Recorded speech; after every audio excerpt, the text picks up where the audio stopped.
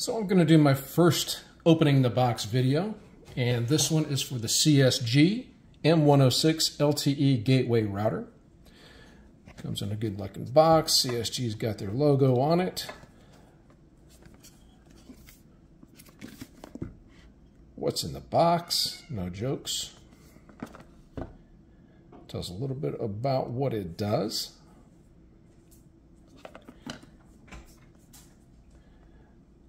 Good indication of what it's for, what's in it, different panels of the device, and slides open.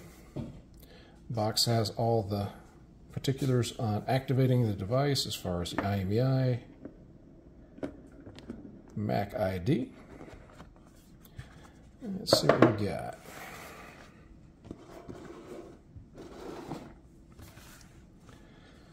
So, user guide.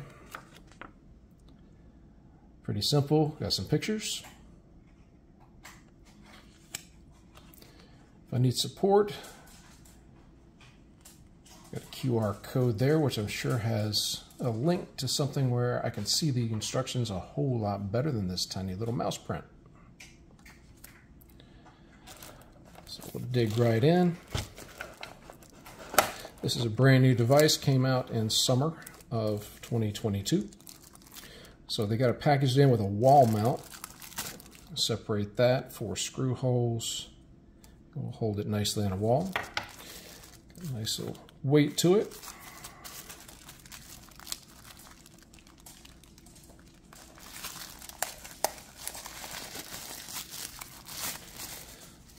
All right, so again, another QR code there.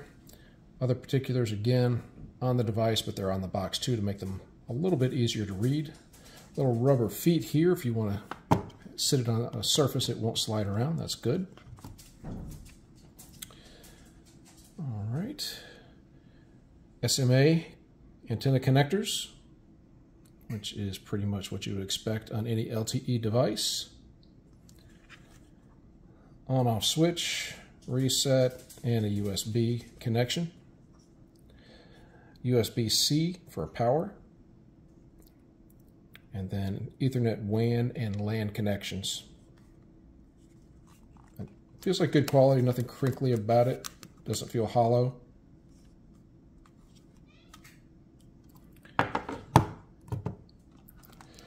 It's got a pair of external paddle antennas these are made by Panorama, according to the box. Panoramas, usually the manufacturers of these things don't state who their antennas are from, so these must be a little bit better than the norm. Otherwise, the company wouldn't pay for a name, right? Looks like we got an extension of flat Ethernet cable. Four screws to mount the wall mount a universal international adapter for the USB-C and a US fitting for that adapter. Locks in securely. There we go. All right, so I've got a power button, but I want to look on this panel here. There's a slide.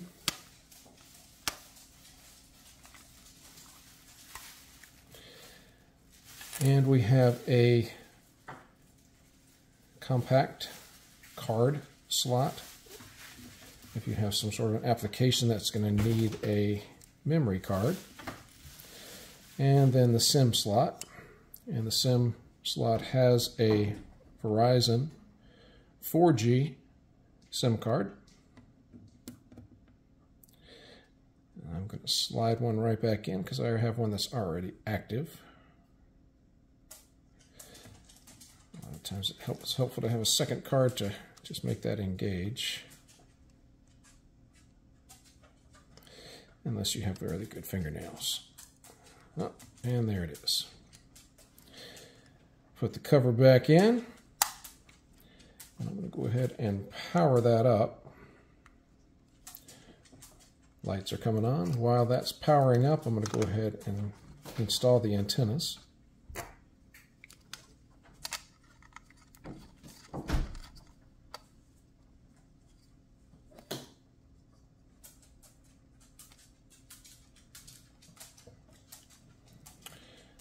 The lights went off on me, so I'm going to think that this thing doesn't have enough battery life in it to power up. So I'm going to need to give it some power via an extension cord. All right, and we're going to got that adapter plugged in.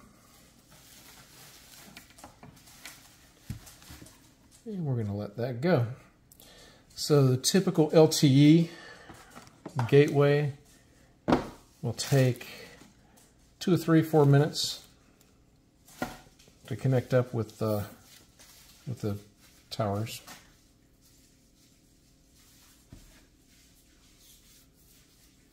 So we'll let that do its thing for a minute or two and come back to it. All right, so it has appeared to have gotten connected to Verizon, and I've also connected that to a phone. And let's see what kind of speeds we're going to get off of that.